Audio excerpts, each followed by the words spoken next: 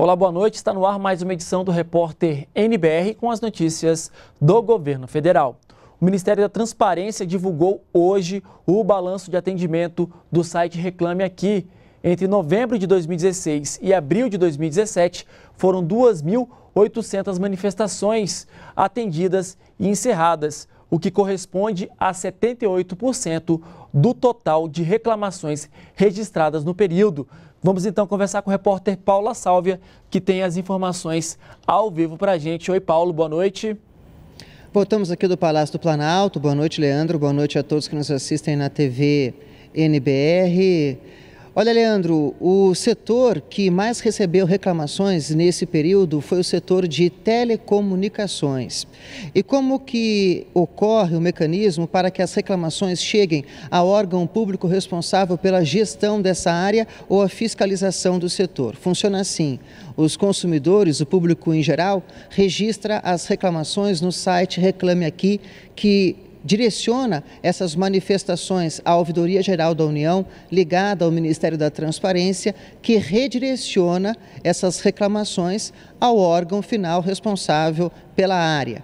No caso, nesse período de novembro do ano passado a abril deste ano, a Agência Nacional de Telecomunicações, que fiscaliza o setor no país, recebeu 93% das reclamações, de um universo total de 3.300 manifestações. A gente tem de pensar que nem todas são procedentes, então, algumas são descartadas e outras continuam sob análise. As principais reclamações em relação às empresas que prestam serviço nessa área foram em relação à telefonia fixa e móvel, à internet banda larga e à TV por assinatura.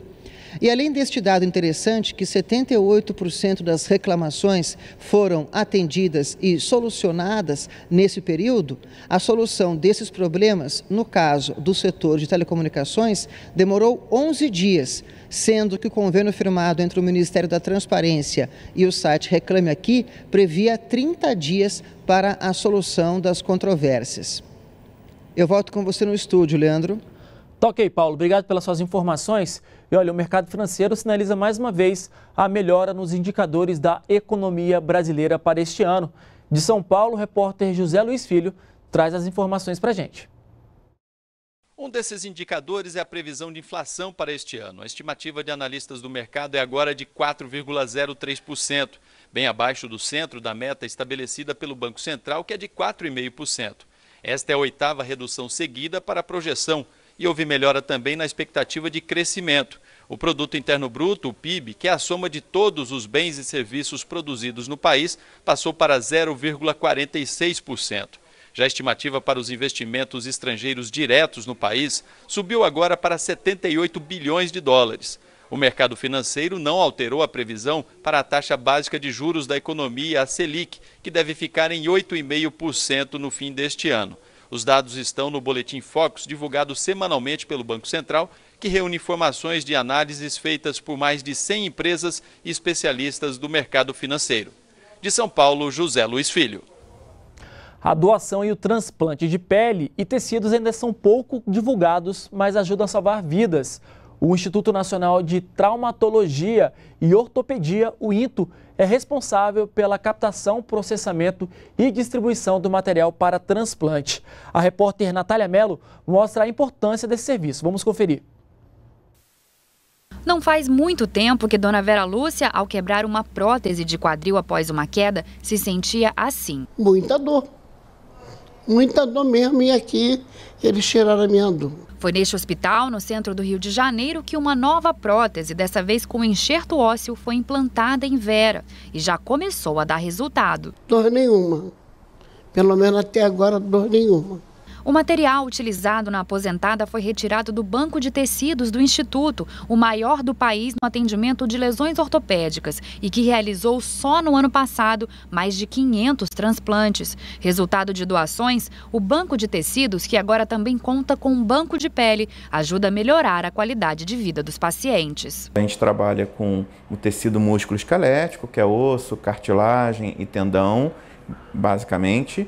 A gente trabalha com córnea e a gente está começando a trabalhar, tem uma semana, com pele. Cada vez mais nós tornamos o Banco do Into um banco multitecidos, um banco que atua em vários tecidos diferentes. Isso faz com que a gente é, faça uma economia de gasto, de recursos, já que a gente está usando o mesmo ambiente para processar em momentos diferentes, mas a gente está usando o mesmo ambiente, está usando a mesma equipe para captar, então isso acaba diminuindo os custos. O INTO trabalha desde 2002 com a captação e distribuição de tecidos para hospitais de todo o país. Aqui nesta sala acontece o processamento dos ossos. Só para a gente ter uma ideia, um único doador pode beneficiar cerca de 40 pacientes. O médico ressalta que esclarecer a população sobre a necessidade das doações é um desafio para que as demandas dos hospitais sejam supridas. Nós temos uma, uma, uma demanda, uma resistência por causa da questão do medo de como vai ficar meu ente querido depois para o enterro e isso acaba realmente impactando muito. É nossa obrigação fazer uma reconstrução anatômica é, desses locais onde são retirados os tecidos. Isso é feito para o tecido músculo-esquelético, é feito também para a captação do globo ocular, da córnea, e também em relação à pele, são retirados de locais que não vão ter é, nenhum impacto para um velório, para um enterro digno posteriormente. Apesar da resistência dos familiares, o número de doações tem crescido no país e ajudado pessoas como Vera Lúcia, que mal pode esperar para começar uma nova vida. Eu espero voltar ao meu normal, depois de sair fazer minhas compras, viver minha vida normal como eu vivia. E é sempre bom lembrar, para ser doador de órgãos e tecidos não é preciso deixar nada escrito, basta avisar a família. Nós ficamos por aqui e podemos voltar a qualquer momento com outras informações. Continue com a gente aqui na NBR, a TV do Governo Federal.